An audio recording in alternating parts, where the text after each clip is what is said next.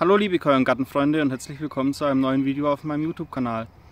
Ich habe mich gerade spontan dazu entschieden, ein kleines Video aufzunehmen, bei dem ich äh, eine interessante Frage beantworten möchte, die auf meinem Kanal gestellt wurde. Ähm, und zwar hat Anja mich gefragt, wie es denn bei mir aussieht, ob ich auch ähm, Rehe auf meinem Grundstück habe, die meine Bäume anfressen und was ich gegen diese dann tue. Im Hintergrund könnt ihr es schon sehen. Und zwar verwende ich diesen Kunststoffschutz. Ähm, ich habe den online bei Amazon bestellt. Ich glaube, das war ein äh, Paket mit 30 solchen Tuben.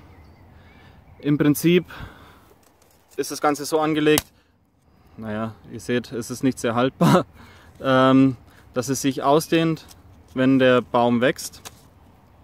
Ich weiß allerdings nicht, ob es äh, biologisch abbaubar ist und ob es wirklich so in der Praxis so gut funktioniert wie versprochen. Den Schutz habe ich vor, ich glaube, zwei Jahren gekauft und angebracht. Mittlerweile finde ich das Ganze nicht mehr so toll, da ich auch meine Einstellung gegenüber Plastik ein bisschen überdacht habe und das jetzt wesentlich weniger einsetzen möchte. Daher habe ich mir noch eine zweite Variante überlegt.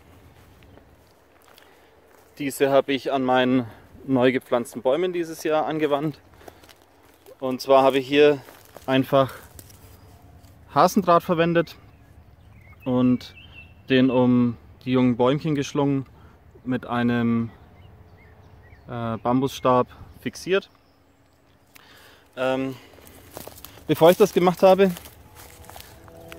hatte ich hier zum Beispiel Wildfraß, beziehungsweise das war wahrscheinlich ein äh, junger Bock, der hier sein Geweih abgestreift hat und damit den Baum sehr stark geschädigt hat. Er hat es wohl jetzt auch nicht geschafft, obwohl er noch ausgetrieben hat.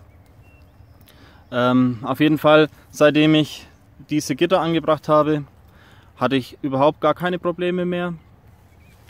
Abgefressen können die Bäume natürlich trotzdem werden. Das ist bei dem, bei dem anderen Schutz auch noch der Fall ist es bei mir auch ziemlich stark aufgetreten dieses Jahr. Das seht ihr zum Beispiel an diesem armen Bäumchen. Hier ist fast nichts mehr übrig geblieben.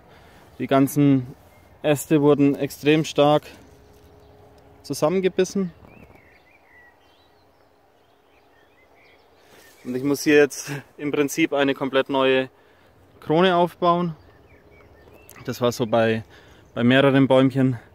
Allerdings geht in der Regel so kein Baum kaputt, da er ja noch eine intakte Rinde hat und sich dann wieder regenerieren kann. Wenn die Bäume dann eine gewisse Größe haben, spielt das sowieso keine Rolle mehr. Deswegen geht es mir vor allem darum, die Stämme zu schützen. So Anja, ich hoffe, ich konnte deine Frage ausreichend beantworten. Vielleicht dient dir das Ganze ja als Inspiration, ähm, um deine Bäume zu schützen. Auf jeden Fall wünsche ich dir viel Erfolg dabei. In diesem Sinne, euer Chris von Chris Coin Garden Blog. Ciao.